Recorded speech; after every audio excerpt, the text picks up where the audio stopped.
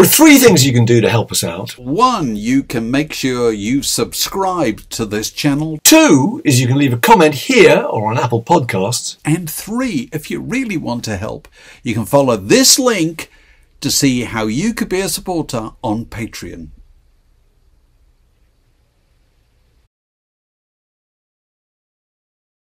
Word in Your Attic, a Zoom with a view.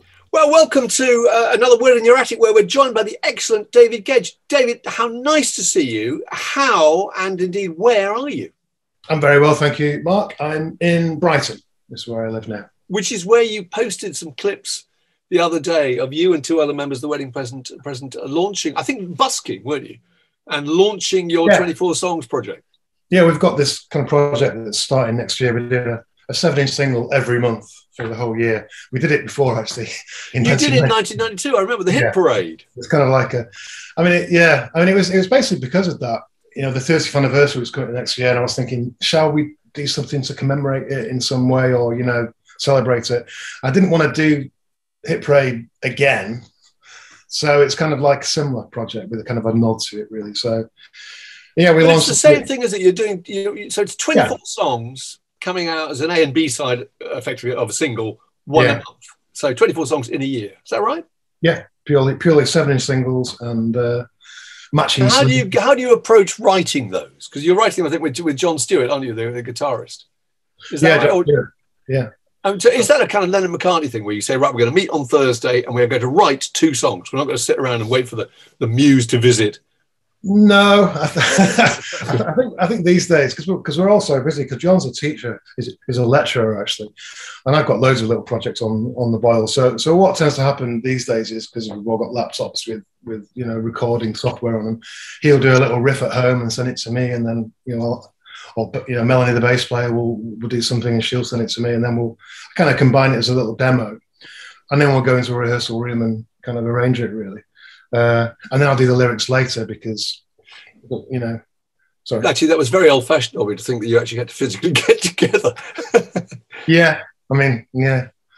I mean, I think I, I suppose when we first started, that's how we did it to a certain extent. But uh, it's it's not, you know, I'm not a, much of a kind of, you know, like a jammer. You know, I'm not one of those kind of musicians. Hey, man, crank up the amp and let's see what you know.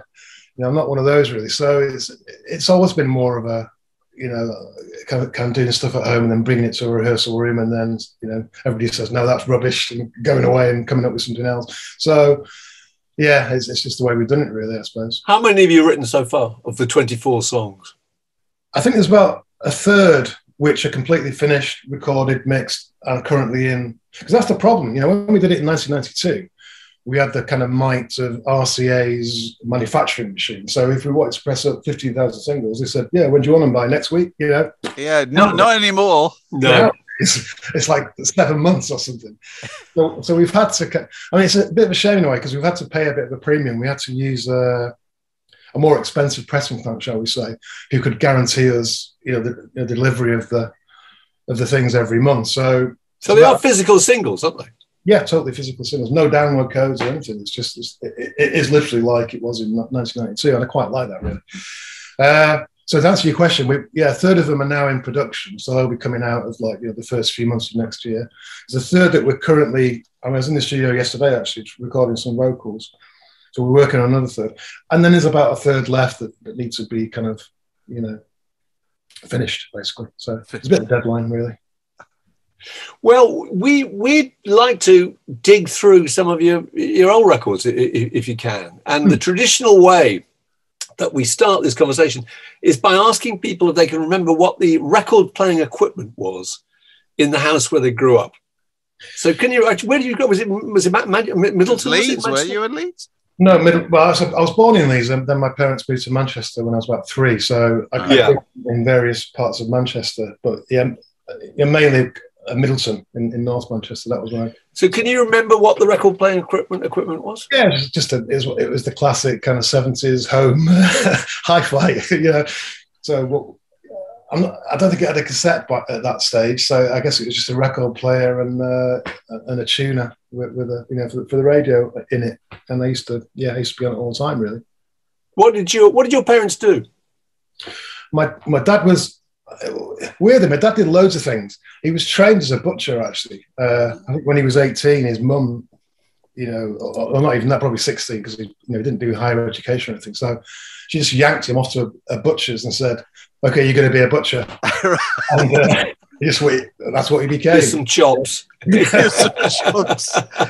Come on with some sausages. Yeah, a bit of bacon tomorrow, and yeah. we were never short of meat. Oh, God. But then over the, he's done a lot of, you know, he was a bus driver for a while, he was a milkman for a while. You know, he's done a lot of those kind of service industries. Oh, it's pro- proper jobs, those, aren't they? yeah, yeah, I was very disappointed. genuinely useful. Yeah, And my Well, mum did- was always uh, like a clerk or a secretary or such stuff. So uh, yeah, Were they music fans or were they record collectors? Did yeah. What sort of records did they have? they had loads of seven, well, seven and and, and ten inch. You know, the old shellac ten inch uh, singles from from the fifties really and the early sixties. Uh, yeah, I used to play them all the time, but it kind of ended. I, I don't know.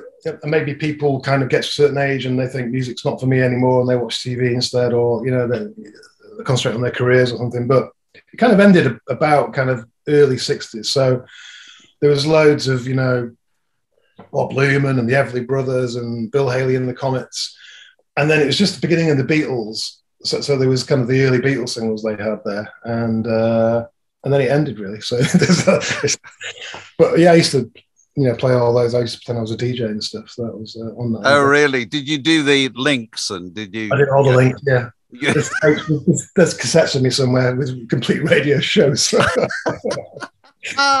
Oh, we'd love to hear Can those. you remember the? Yeah, we would. Can you remember the first uh, first records you bought yourself? First sort of singles you bought? Well, I was thinking this the other day actually because uh, I think, unfortunately, I'm, I, I guess a few people say this. The first single that was bought for me was Rolf Harris, Two Little Boys.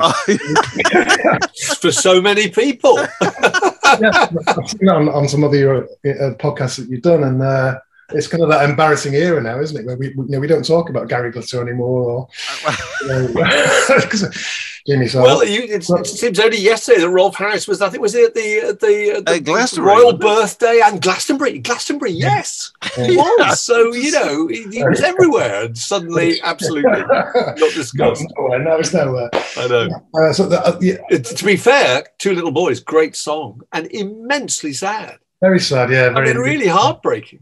I know I was, I was I was probably like seven or something, and I do remember kind of crying.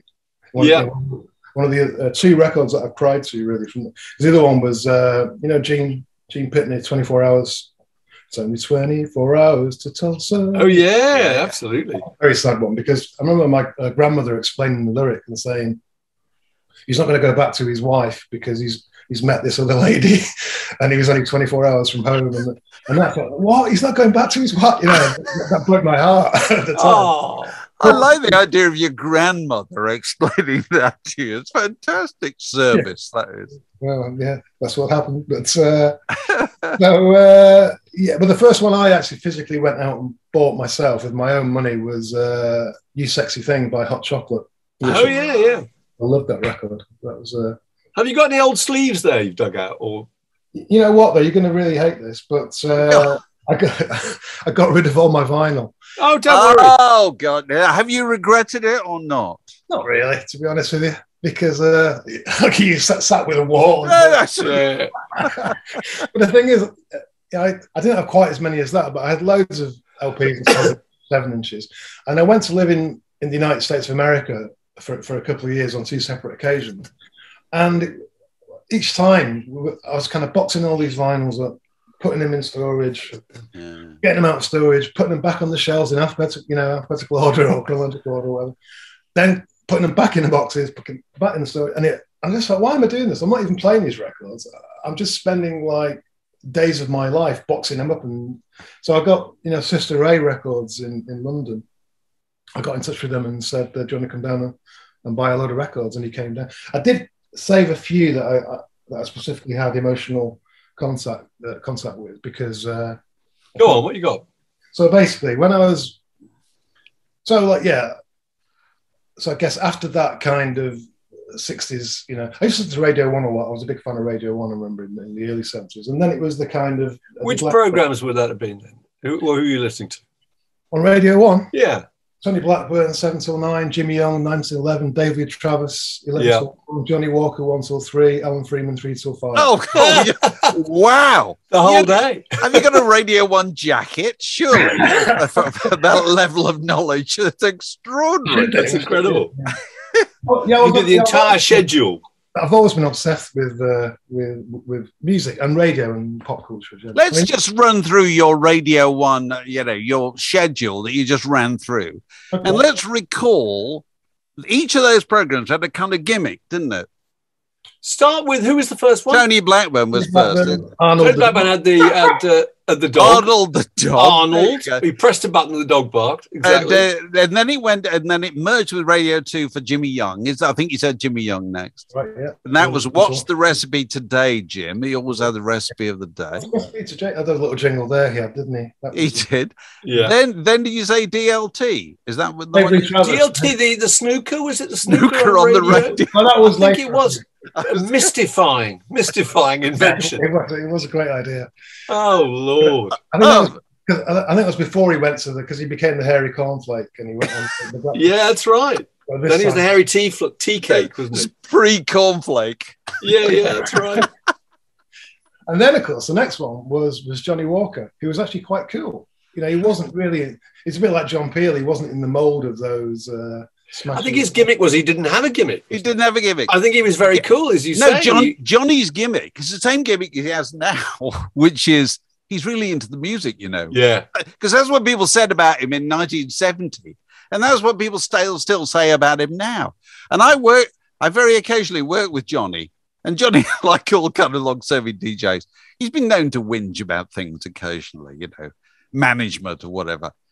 And I, I, I often, I have said to him on more than one occasion, Johnny, when did you start this job? And he'll go, "Ooh, I don't know, 1968 or whatever. 67. That's right. Are you still doing it, Johnny?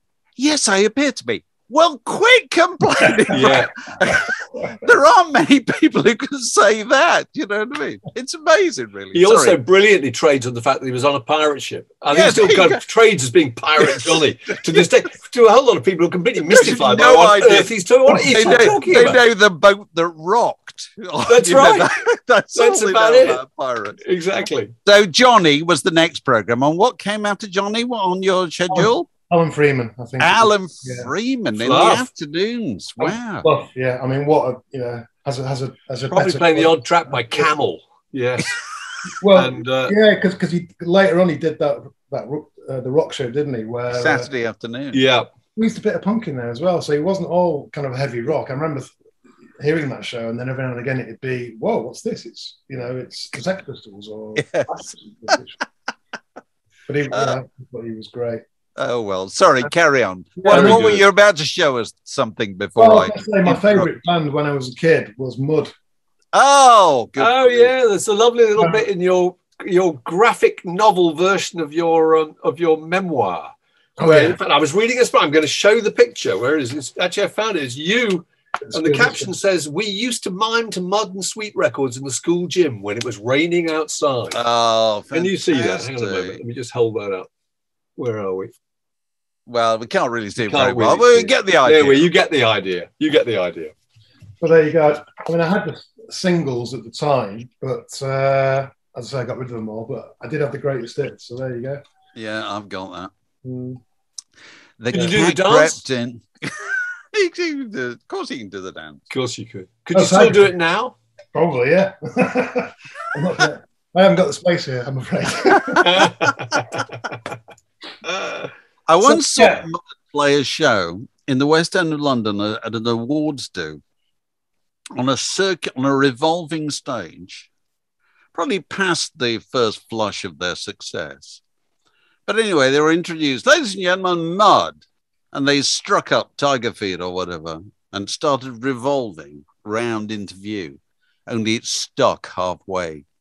Oh, And only two members of Mud were visible. The other two were invisible. They were off stage until somebody managed to It's physically. completely out of Spinal Tap, isn't it? It's just good. That's extraordinary. Mechanical breakdown. How fantastic. So Anyway. was was glam a big thing? I guess it would have been It was, yeah. You very know, I was, exciting. I was kind of 14 and it was uh, all those bands. You know. It was thrilling. Sweet. Glitter, but Sweet, I loved, you know, I thought they were great. And uh, obviously T Rex and all that stuff. So, yeah, but, you know, Mud were my favorite like, pop group. Uh, and then I, I kind of had a few friends at school who were said, you know, have you heard of, you know, these other bands that are not in the charts so much? I'm, I'm, well, I say not in the charts. This was the first LP that I bought, really, because that Mud one I, I bought kind of retrospectively. Cockney Rebel, the Psychomodo. Oh, yeah, yeah. And uh, I mean, I suppose they were in the charts because they had that, that massive number one single, "Come Up and See Me." But that was Smile. that was later, wasn't it? yeah. Yeah, I mean, come up and see me was after that, wasn't it? I think it about was. seventy-two. oh, That's the second. That's the second 75? album, isn't it? It is, yeah. 1974. This one, Yeah. Right. but yeah, and I played this to death. This is this was my favorite record at the time. I remember there's a song on here though that uh, I can't remember the, the, which one it is though, but I was I was playing it on, on the record player, and it it does feature the word masturbation. and uh, I remember my, mum coming in from the kitchen. She's been saying Just, just as it, just as it Well, played. no, well, no. So I was in the living room playing it quite loud, so, so she could obviously hear it, and she's hearing the lyrics, and then she's she must have clocked this particular word, so she came in, and I was just sat on the sofa thinking, "Oh, what's going to happen?"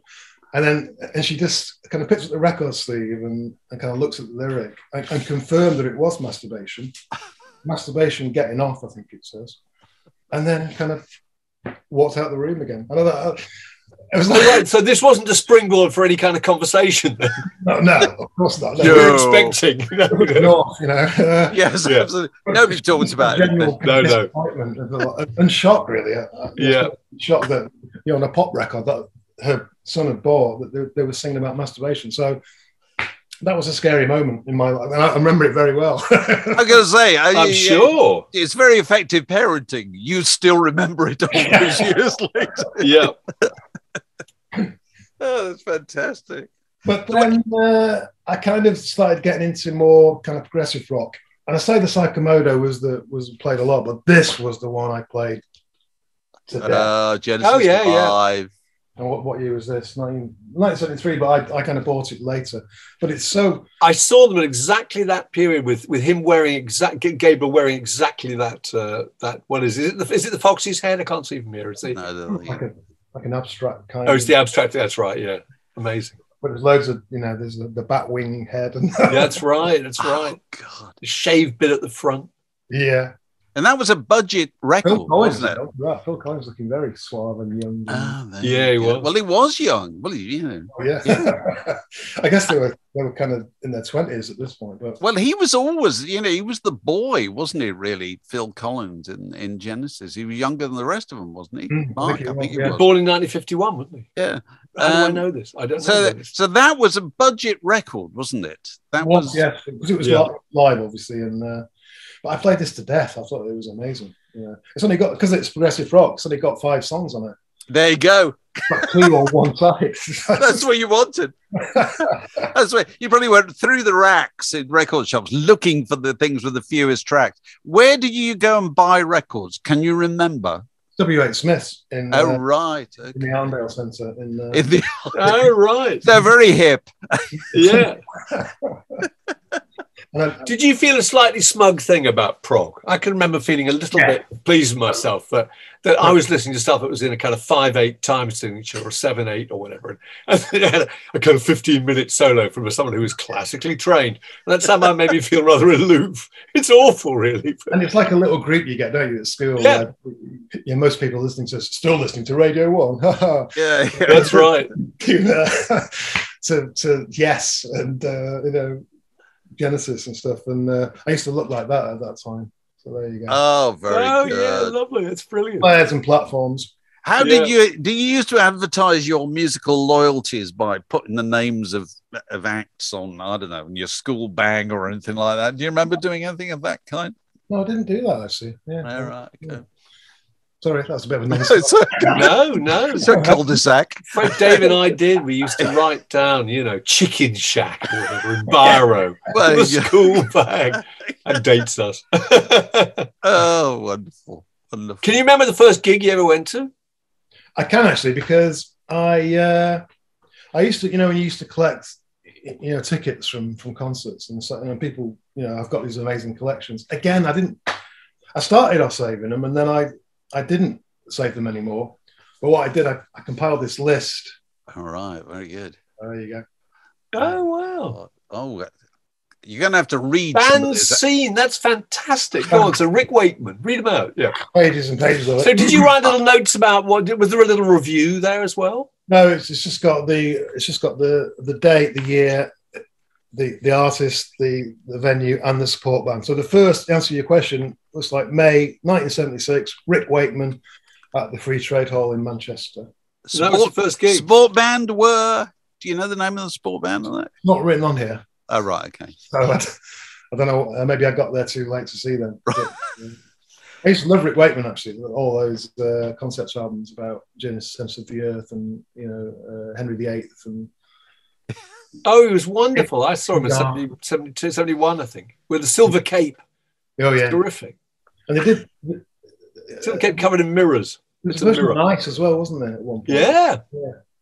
Which is, Yeah, he did a thing at Empire Pool Wembley, Oh, sure he did. as it was known then. It was, Incredible. he was a huge star, wasn't he? Massive Yeah. stuff. As a, as a, as a solo act. He was, It's a ra- rare case of somebody leaving a big group and kind of yeah. justifying it, really.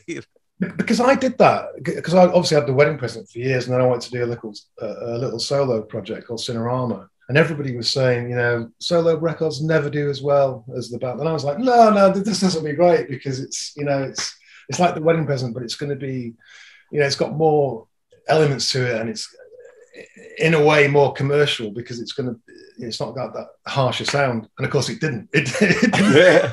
Yeah. I was like, "Wh- why? Why? why? Well, I suppose it's just kind of recognition of, of a name, isn't it? It- it's- this is, It is. we, we talk about this so often that in the end, do you not feel? I mean, you've had a long career in the music business and continues, you know, but your brand name in the end is the most important thing, isn't it? I suppose so. And uh, of course, as an artist, you know, when we started doing Cinerama in, in whenever it was 1997, it was on Cooking Vinyl, and they said, you know, we'll put a big sticker on the front saying featuring David Gedge from the wedding present. I thought, no, no, I. That sounds awful and really kind of over commercialize it. And of course, I was totally wrong. I should I have done that, you know, because that. I would have probably, you know, loads of people would have heard of Cinerama who didn't hear of Cinerama because they were flicking through going Cinerama. I've never heard of them. Who's next? Oh, the Wedding Present's got, you know, this re-release. I'll, I'll buy that instead. So, yeah, it- yeah, yeah. Brand name is very, very important. It's, it's hugely important. I mean, you in your case, I'm not getting try, seeking to get into your kind of uh, into your personal details, but do you own the name The Wedding Present? I don't think anybody can, uh, can own the name The Wedding Present, can they? Because it's it, I don't know. it, oh, right. it's generic. It's you know, it's a thing. It's like a table, isn't it? Or a you know. Okay, okay. Well, no, you must be able to own it. It's the name of, of a band. They must, surely. Well, no, you can't own titles. I don't think. I think you can have the copyright of, of lyrics and music, but, but I think titles are not copyrighted. All oh, right. So, so maybe that applies to band name. But then you get those issues, don't you, when a, a band has to be called, you know, the London Beat because it's already a Yeah, beat. wedding Yeah, present. yeah, too. yeah, yeah. David Yeah. Gedge's wedding present. That's right. like Slade. That's right. Bebop Deluxe. Go on. Yes. Bill Nelson. So that was 1990. Yeah. I think that's many in 1977, but then you can see this change here because then it's XTC, Tom Robinson Band.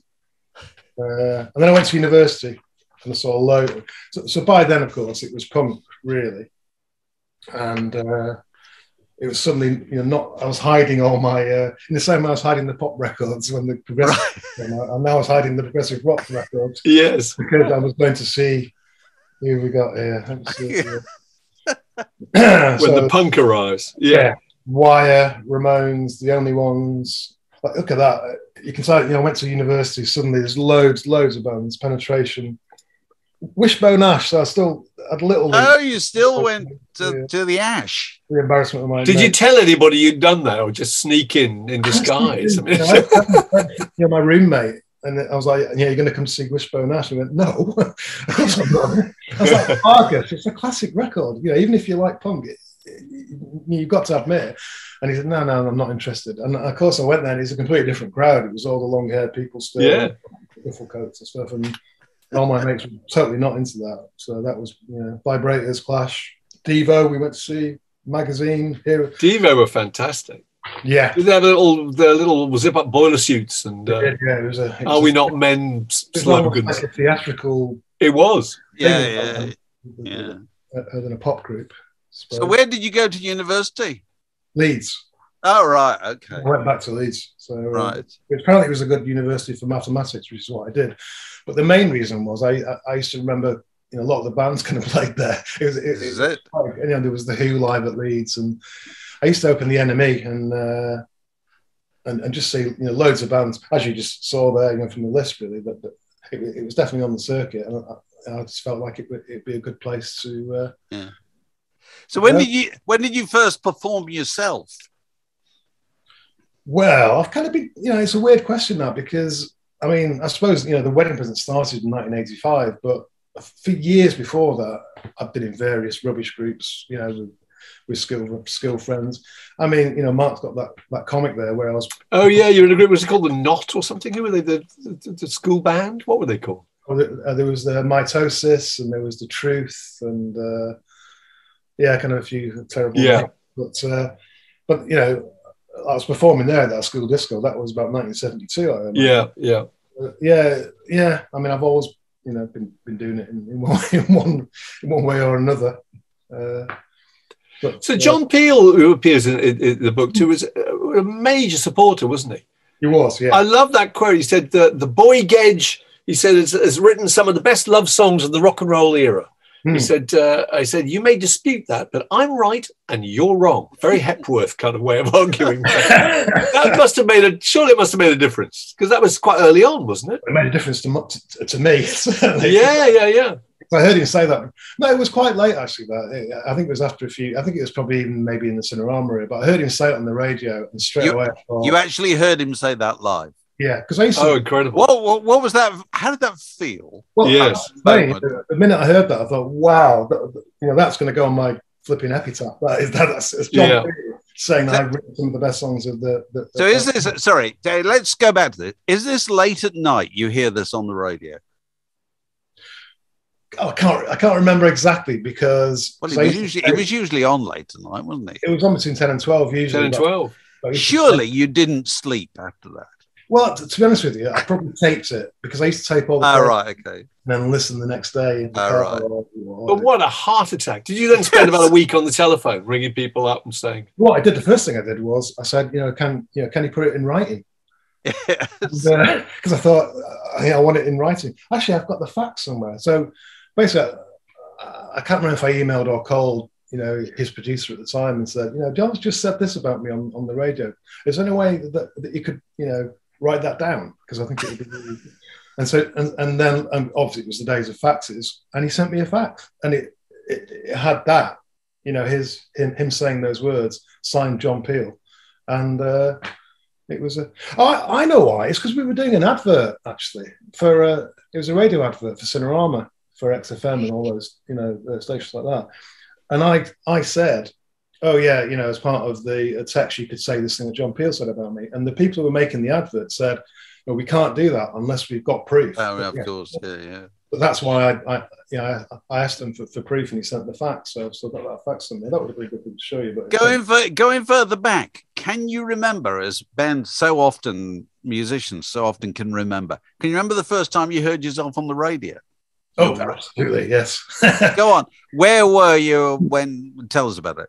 well, it was 1985, and uh, yeah, we'd just done this single, which is uh, "Go Out and Get 'Em, Boy," and uh, we had absolutely no money. So I basically, I went down to you know to save the, you know, we had 500 pressed, I think, and and to save the delivery charges, I went down on the National Express coach myself to the pressing plant got them in two cases, brought them home back to Leeds. Where was the pressing Fantastic. plant? I You- want to know every That's detail. just brilliant. Where So was you- the pressing plant? You went on a National Express coach. Go on. It's somewhere near London because it is making record. I, I can't remember the actual address. This is this is 35 years ago, Mark. There we go. Yeah.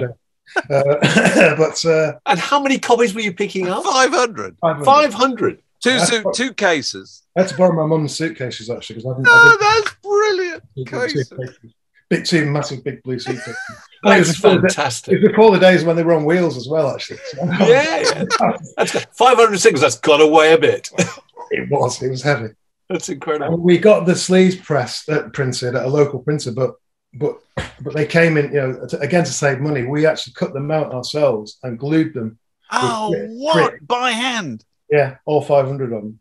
Oh, what? Fantastic. And I, I'm pleased to say it, it's weathered quite well, really. They're probably better incredibly than well. if they'd been manufactured by a major company. Yeah.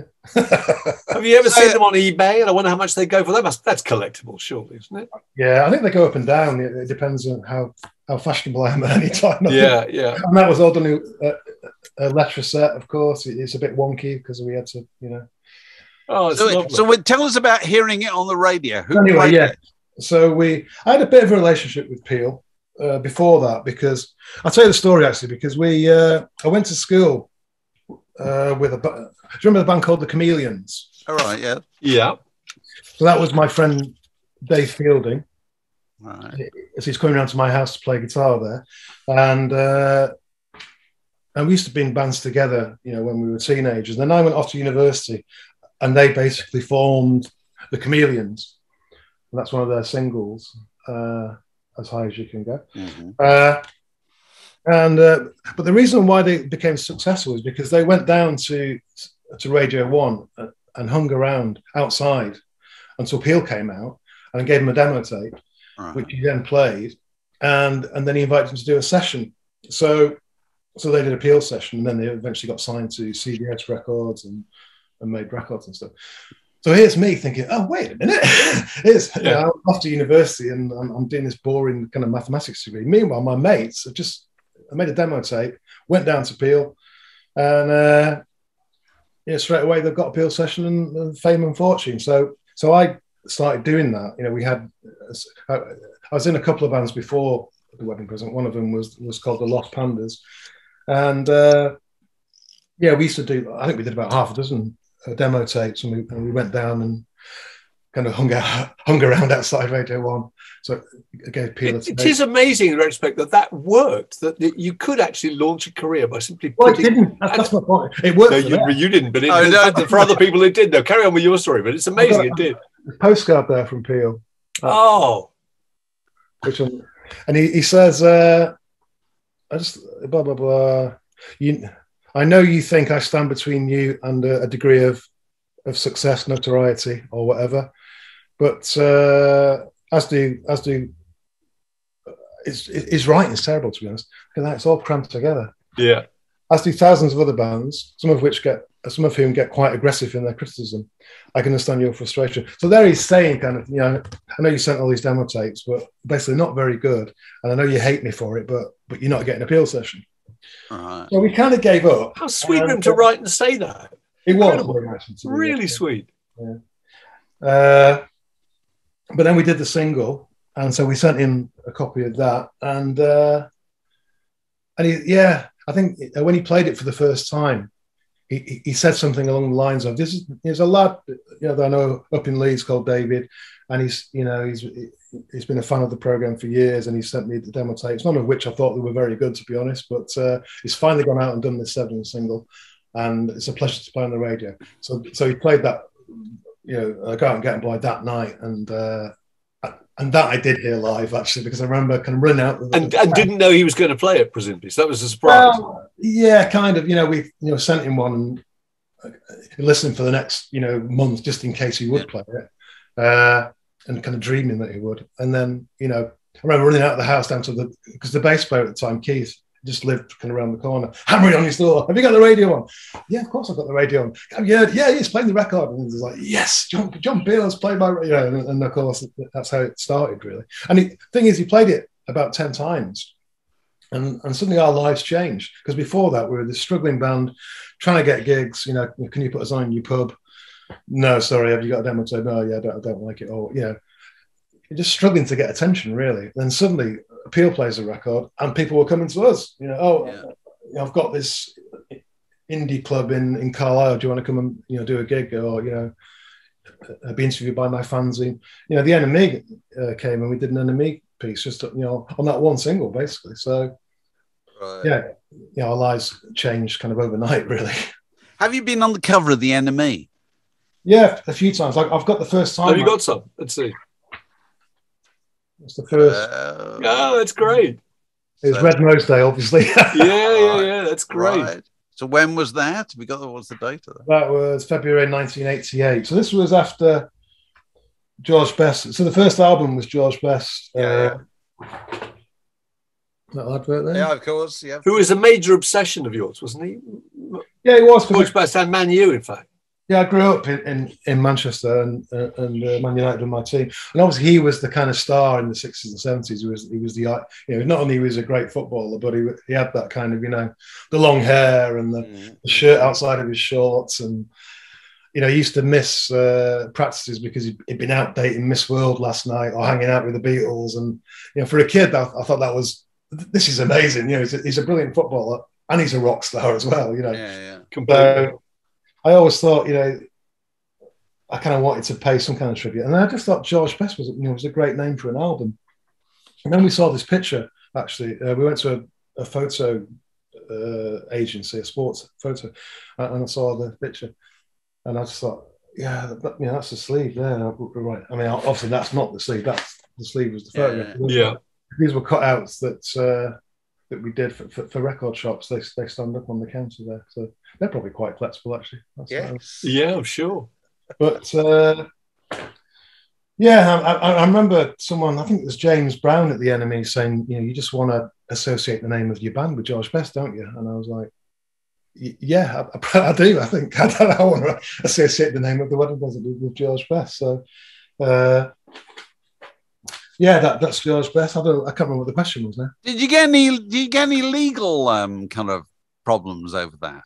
No, because because we met him actually. We Right. uh, Oh, right. again, I don't think you know, there's any problem with you know naming and it's a title of an album, and as I said, I don't think you can copyright that. But uh, I mean, there's always that worry, you know, is that you know the right thing to do? But then our press officer at the time, Mick Houghton, I don't know Yeah, oh, we know, Oh, we know we Mick really Mick, well, yeah. know very well, and he suggested you know we do like a photo session with him. What was it like? What, what, roughly when was this then? So that'll be 1987 when And, and, and how did that go? How was he? Well, I was, you know, he was great. I was, I was totally beside myself because it was. You know, I went, I'm in a room with George Best. You know, Yeah. how surreal can my life be? You know, and uh, I didn't really speak to him, you know, because I, I, I, you know, I was too much in awe, and it was just too weird, really. But uh, he was very nice. He was very chatty to our guitarist Peter. They were talking about fishing, I think, because I think they were both into fishing. So I, I actually made the, the biggest faux pas because our manager at the time uh, brought in a crate of beer, a lager, thinking that you know it would smooth the the, you know, the social anxiety or whatever. Oh dear. that was the time when. So I said, "Oh, George, you know, do you want to do you want a can of beer?" And he was like, "No, no, I'm, I'm not," because obviously he was an alcoholic and he was he had his ups and downs throughout his life with alcohol. So that uh, you know, But he was very funny about it. I can remember him coming back from America and saying that he'd seen a, a po- big bill- billboard poster saying, Drink Canada Dry. He said, So I did. Yeah. No, he was really witty. Sorry, I'm- carry on. I'm just embarrassed because you know, obviously I knew that. You know, yeah, yeah, yeah. And then here's me offering him a drink. So just felt a bit embarrassed. And after that, I just shut up really and just let him, let him, let him talk. And uh, yeah, so, so that was that was a, a highlight of my life. So, so it came out in America, still called George Best. No, the reason I was asking, Prefab Sprout called their album Steve, Steve McQueen, McQueen. but Hmm. I had to change it for America, didn't they? oh, did they? Yes, it's called Two Wheels Good in America, isn't it? I think it is. yes, Uh, you're right. and, uh, That's right. And I think the I don't know if Steve Queen was still alive at that point, or or whether it was his his heirs, his estate that people were worried about litigation or whatever. But obviously, football is quite interesting because George Best is obviously absolutely massive, iconic footballer. But in those days, even iconic footballers were relatively easy to get to compared to nowadays. You know what I mean? If you if you wanted to put out an album called Cristiano Ronaldo, Ronaldo, yeah. nowadays, I imagine you'd uh, you'd be hearing Months from a learned friends, you know, Yeah. very quickly. Whereas with George Best, I think he got paid 500 quid. Oh, there you go. get to turn up to this photo session with these, a bunch of lads from Leeds who he, he, had, he had no clue who we were, obviously, but they, you know, I remember some people actually thinking that it was an LP by George Best called Yes. called the wedding present because uh, That can't be a bad thing commercially. probably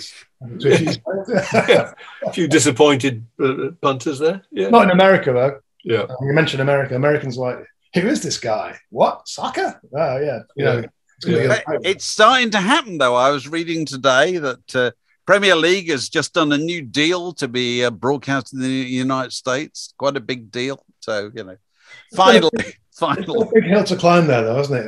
It's up against the NFL and No, no, no, I'm sure, but at least it's yeah. There's, I Yeah. suppose, it's taking advantage of the fact that there's more and more TV outlets, therefore the streaming and all these kind of things. Yeah, it- you yeah. could- Are you Could still be. a big supporter of, of, of the Man U? I am, yeah, yeah. Good for you. Just never, never Where- stops where- being fascinating. Where do you stand on the current on Yeah. on Ole Gunnar Solskjaer and uh, what, what do you think? Is he going to be there at the end of the season? I mean, it feels like he's not going to be there, but uh, you know, it, it, it's a strange situation because you know we, we get hammered by Liverpool five 0 Everybody goes, "Oh, Ole's got to go," and then, then, then we win three. So like Win 3 0, exactly. every time he, he does something or you think, "Oh, that's it, it- he's going to be But gone." that, that's that's the, the way it is. Just It's the way it entire is. time. It's just death or glory. It's like you're here forever and we love you, or you're fine. I can't believe you're still around. You know. Yeah, I mean, I, I guess it's changed, hasn't it? Because I remember, you know, Alex Ferguson had, had years before, you know, there was any success at Manchester United, but then, but they stuck with him. Whereas now it's like, well, you've been here six months and you know we haven't won anything yet. So, But you they know, were slowly improving, weren't they? And the, and the club could tell that he was doing things. I love that detail that he introduced them to to, to, to eating broccoli. And uh, you know, at that point, they were sort of literally having pie and chips, weren't they? Stubbing out a cigarette, finishing their double diamond, and then going on the pitch. That's right. I know. Those are the days. I know. Fantastic. So you're you're about you're ge- you're going on tour soon, aren't you? Is that right? Yes, it's the uh, the 30th anniversary of uh, our third LP, Sea Monsters, which came out in 1991. And so we, uh, yeah, we're doing that. We're doing that, which is uh, it's quite interesting actually because of all the records that we've made, that one I don't know if you're familiar with it, but it it kind of holds together. You know, it's like a theme. It- it's almost like. Uh, it, it works really well as almost like one piece of music. It sounds a bit progressive rock, it's actually, but it sounds like one piece of music in, in, in 10 kind of movements or something, you know. So it's quite good to, yeah, I get really into performing that one. It's, uh, again, Right. it's like being part of a, a theatre or something. Or something. So is it is it quite fun to revisit your uh, repertoire in that way by saying you know because this is the thing that for years nobody did, isn't it? Yeah. You know what I mean? Let's do that record in that order. including me. You know, the first time we were approached was in 2007, which is the 20th anniversary of George Best, actually. And Sanctuary Records were going to uh, re-release it in some way, and they said, you know, have you, uh, you know, thought about the idea of actually, you know, playing the album live in its entirety? And I was like, no, I haven't, That's because brilliant. no, was no, that's terrible. And I'm an artist. You know, you know uh, that band was 20 years ago. I've got the new lineup here now. We've got all these new songs. I'm thinking about the future. I didn't want to go back and wallow in, in Yeah. of, of that. And they were saying, well, okay, well, it's your it's your funeral. And I came away from the meeting thinking that's definitely not going to happen. And then I spoke to the rest of the band and some friends and some fans, and everybody said, "Oh, I'd love to see you play Best." Well, Dave and I talked about this quite a bit because it's, it's it's like classical music, isn't it? If you go to a classical music concert, you know exactly what you're going to get. yeah, You know, And- and there's not as going to be any surprises. And so, if you're going to see someone perform on that album, you know Yeah. exactly, and that, that's very attractive. Because otherwise, people could be coming to see you and thinking, "Well, I'd really like to hear so and so." They don't get it and go away Yeah. a bit disappointed. So you're you're guaranteed to get what you. And when the what LP you originally comes out, you don't play the whole thing. Obviously, you know, it's it's it's a new LP, so you play like uh, a few songs. to- Yeah, yeah. yeah, yeah, yeah. You mix it. Uh, uh, Yeah, so and also with the wedding present, especially with such a live band, you know, all the all, all the albums are kind of us playing live anyway, really, just in the studio. So it kind of works as a set. You know, it's got Yeah. a beginning and an end, and it flows and everything. And uh, so we, so so anyway, to finish the story, I, I kind of reluctantly you know, went along with it, and then I thought, I thought actually, I quite like this. It's, Yes. yeah, I mean, a it's kind of going back to you know a diary that you've kind of written twenty years ago, and thinking, oh god, yeah, I remember this, and I, I remember feeling that way about this person or whatever. So that was interesting. And then also, it's a completely different band now, so so they're kind of got a different take on on the you know the, and we kind of reanalyze it in a way and reinterpret it and maybe change some things around a little bit because we you know we feel like we can prove it and stuff. So it, yeah, it's kind of a almost like a living thing, you know. It's uh, so yeah, so so I kind of reconcile myself to the idea that you know occasionally going back and playing an album is actually Yeah. you know, as valid as, as as playing new stuff. And it's only half the set. You know, we play for ninety minutes, so you can do sea monsters, and then you still got over half.